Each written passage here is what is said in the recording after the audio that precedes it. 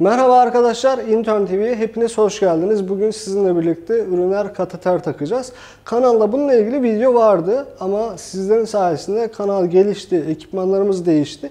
Daha iyi görüntü kaliteleri alabiliyoruz, daha yakın planlar çekebiliyoruz, hareketli kameralarımız falan var.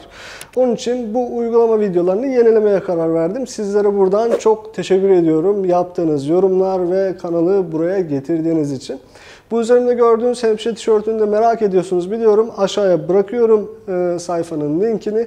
Hemen influencerlığı da yapıp videoya geçelim. Başlarken bize ne lazım? Tabii ki bir ürüner kateter lazım. Elimizde bir tane latex ürüner kateter var. Bunların silikon olanları var. Çok daha az alerjiktir. Farklı varyasyonları var. Yıkamak için kullanılan vesaire üçlü menli. Onlara girmeyeceğiz şu an. Normal klasik uygulamaya gireceğiz. Bu sondaların içeride mesane içinde sabit tutmak için birer balonu olur. O balonu steril e, distile suyla ya da 1009 sodyum klor ile şişirmek lazım izotonikle.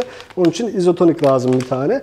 Tabii bunu kullanmak için enjektör. Daha sonra mesane steril bir ortam olduğu için oraya giriş, kateterizasyon kesinlikle steril olmalı. Asepsi, antisepsi kurallarına uygun olmalı. Bunun için antiseptik solüsyon.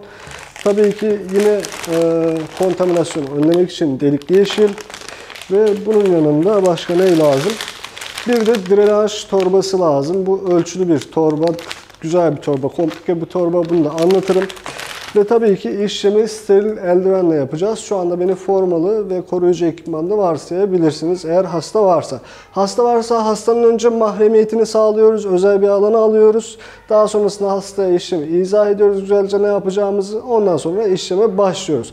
Şimdi e, hazırlığımızı yaptık. Hastanın e, perimesini antiseptik solüsyonla özellikle kadınlarda yakın plan alabiliriz. Labia minörlerden başlayıp içten dışa güzelce siliyoruz. Hemen makette bir amatörce bir siliş yapalım. Hasta cildi olsaydı burası güzelce boyanacaktı ama maket olduğu için güzelce boyanmıyor. Şimdi artık bu kullandığımız eldivenleri değiştiriyoruz. Orası beni çekiyor mu? Eldivenleri değiştiriyoruz. Yeni bir çift steril eldiven takıyoruz. Steril nasıl giyilir videosunu koymuştum zaten. O yüzden burayı da hızlıca pas geçeceğiz. Evet, steril eldivenlerimizi şu an giydik. Giydikten sonra Hayri bize delikli yeşil açacak. Bu arada bu malzemeleri steril açarken arkadaşlar güzel açıyoruz. Kenarından paketi güzelce yırtarak açıyoruz ve içine dokunmuyoruz. Evet Hayri güzelce gösterdi.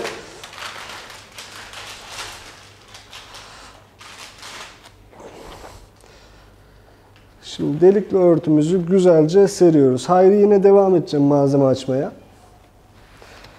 Tripodu koy yine devam edeceğim malzeme açmaya. Şimdi bana üriner kateteri açacaksın oradan.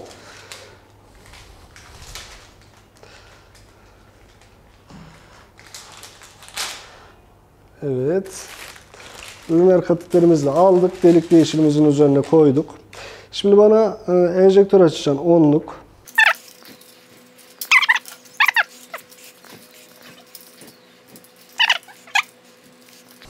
Yine steril bir şekilde enjektörü açıyor bana Hayri. Yine devam. Gaz aç bana hacım. Evet malzemelerimizi hazırladık. Hayri ile birlikte neler hazırladık görelim. Tabii ki bir e, SF hazırladık balonu şişirmek için. Şurada bir valfi var. Görüyorsunuz bu valfe iyice enjektörü oturtup bunu şişireceğiz. Şurada diyor ki ne kadar şişireceğimiz burada yazıyor. Bu kateter 30-50 cc'lik bir katetermiş. Arkadaşlar bu miktar önemli. Yaklaşık 10 milimlik kateterler en ideal olanıdır. Çünkü e, içerideki biriken mesanede kalacak rezidüel idrar miktarı buraya burada şişirdiğiniz balon miktarıyla doğru orantılıdır. Ne kadar az olursa rezidüel idrar enfeksiyon riski o kadar azalır. Şimdi daha sonrasında ne var? Kayganlaştırıcı jelimiz var. Bu da lidokainli bu arada. İşlemi nasıl yapıyoruz? Hastanın bacaklarını uygun pozisyona, pozisyona getiriyoruz. Litotom pozisyonu uygun pozisyondur. Bunu hazırlarken yapıyoruz. Daha sonrasında sondamızı katecelliyoruz güzelce. Kaygan bir hale getiriyoruz. Şu an SF'imiz de hazır. Erkekte olsaydı bunu üretmenin içine doğrudan verebilirdik. Hatta biraz da beklersek içeride bu lidokain olduğu için e, anestezi, lokal anestezi görevi de görecektir. Daha sonrasında labia majörleri ayırıp minörleri ayırıp buradan girişi yapıyoruz. Bu tam olarak bu yine mankene gitmeyecektir. Evet bu kadar gidiyor. İtebildiğimiz kadar ittikten sonra bakacağımız şey şuraya idrar geliyor mu gelmiyor mu? Bir hasta altı bezi koyabiliriz, yerleştirebiliriz. İdrar geldiğini gördükten sonra hemen bunu diyoruz. Şurada elimizle kıvırdığımızda idrar gelmeyi bırakır. Bakın şöyle. Şuradan sıkayım. Elimle sıktığımda oluyor da. Şöyle sıkınca görüyor mu ayrı? Evet. Net diyor değil mi oraya? Evet. Tamam. Böyle sıkınca bunu klamplemiş olursunuz. İdrarın geldiğini gördüğünüz an Biraz daha itiyorsunuz ki balonu üretlerin içinde şişirmemek için. Daha sonrasında balonu burada yazan ölçüye göre uygun şekilde şişiriyorsunuz. Şu an makette muhtemelen e, yalnızca bir orada e, üretleye benzeyen bir yer var. Mesaneyi konu için şişmiyor, zorlamıyorum. Şişiriyorsunuz. Şişirdikten sonra yalnız burada dikkat etmeniz gereken şey bunu iyi oturtuyorsunuz. Eğer şunu iyi oturtmazsanız burası tek yönlü bir valftir. Bakın böyle ileri gidip gelebiliyor. Geriye patlatır şişirmez. Geriye püskürtür. O yüzden bunu iyi oturtup güzelce şişiriyorsunuz. Daha sonrasında buradaki klempi bırakmadan şuradan delikli yeşilinizin altından artık diğer mesane drenaj torbanızı alıyorsunuz ve torba birleştirme işlemini yapıyorsunuz. Muhtemelen bunu alırken steriliteyi bozacaksınız. Onun için mümkün olduğunca şu iki uca dokunmadan bu işlemi yapıyorsunuz. Şöyle dokunmadan dış kenarlara kapalı drenaj sistemini koruyarak bu işlemi yapıyorsunuz. Buraya verdiğimiz SF orada sabit kalmasını sağlayacaktır. Daha sonrasında buraya idrar gelecektir. Şunu da açalım. Şu an maketimizde olmadığı için tabii ki gelmiyor.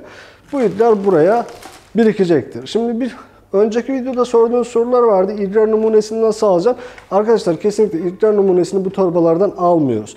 Ve şu an mesane seviyesinin yukarısında tutuyorum bunu. En önemli hatalardan birisi budur e, yer çekimi kuvvetiyle bu drenaj sağlanır. Aşağıda kalmalıdır. Ama bundan daha önemli olan şey ise eğer e, hastayı transfer esnasında vesaire bir şekilde ben bunu yukarı kaldırırsam şurada klempi vardır. Şuraya alsana ayrı. Şöyle klempler vardır.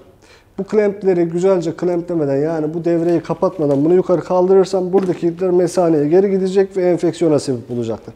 Bu yüzden bu torba artık taktıktan sonra hep aşağıda kalacak. Her zaman hastanın mesane seviyesinde hep aşağıda kalacak. Yalnız aşağıya astık ya ucu da yeri değmeyecek. Bu çok önemli bir etken. Numuneyi nasıl alacağız? Numuneyi arkadaşlar şurada portları vardır. Bu portlardan alabilirsiniz. Buraya enjektör oturur. Şu an ellerim katıcılı olduğu için açamıyorum. Şu açtığım enjektörü kullanayım. Buraya enjektör oturur. Burayı güzelce antiseptikle silip daha sonra SF'li o antiseptiği ekarte ettikten sonra buradan içeriye hem sisteme bir şey verebilir hem de çekebilirsiniz. Ya da eğer e, kullandığınız drenaj torbasında bu yoksa aynı steril şartları koruyarak kapalı devreyi bozabilirsiniz. Bunun dışında kesinlikle kapalı devre bozulmamalı çünkü önemli derecede e, ürünler sistem enfeksiyonuna sebep olacaktır. Ve Üriner sistem enfeksiyonunu önlemenin en güzel yollarından bir tanesi de mümkün olduğunca eğer endikasyonu yoksa bu üriner kateteri takmamak. Bunun dışında şu kapalı devreyi bozmamak. Yani şu torbayı değiştirmeyeceğiz gerekmedikçe. Şu sondayı değiştirmeyeceğiz gerekmedikçe. Belli bir periyotta değişir diye bir şey yok. Yalnızca lüzum ettiğinde değişebilir. Bunun dışında e, üçüncü etmense eğer bunu bozuyorsak hep e, antiseptik şartları, steril şartları koruyacağız. Asepsi, antiseptik kurallarına uyacağız. Tabi bunun detaylı bakımı ve takibi konusunda, üriner sistem enfeksiyonlarının önleme konusunda daha farklı şeyler var. Ben 3 temel etmen söyledim. Gerekmiyorsa takmamak, bu kapalı devreyi hiçbir zaman bozmamak ve eğer kapalı devre bozulacaksa steriliteyi korumak. Bunun dışında neler var? Bu e, idrar torbaları boşaltılırken mutlaka o boşaltma kapları hastaya özel olmalı. Ucu yere değmemeli. Lüzumundan fazla dolduğunda hemen boşaltılmalı. Mesane idrar geri gitmemeli. Günlük sonda bakımları yapılmalı. Bunun gibi bir sürü şey var. Bunları aşağıya bir makaleyle, çalışmayla bu üriner sistem enfeksiyonları nasıl önlenir onu bırakırım. Erkekte nasıl takılır? Erkekte takılma farkı yine bütün şartlar, koşullar aynı. Yalnızca penisi kavruyoruz ve böyle güzel dik bir pozisyona getiriyoruz. Hemen şu enjektörde göstereyim. Eğer hastanın penisi olsaydı böyle güzelce kavrayıp buradan giriş yapacaktık. Ve katı jeli içine sıkıp katı, katı jeli içinde biraz bekletebilecektik. Erkekte de sonda takmanın farkı bu.